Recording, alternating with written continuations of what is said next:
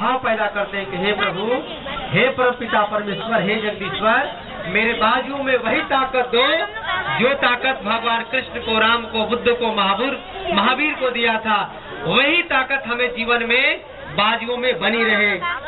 ओम पूर्व ओर में, ओ जो मस्तु, ये घुटने पे रखते दाहिनी तरफ़ और बाई तरफ़। मेरा जीवन तभी सफल होता है जगह से दूसरी जगह तभी जा पाता हूँ जब मेरा पैर स्वस्थ हो।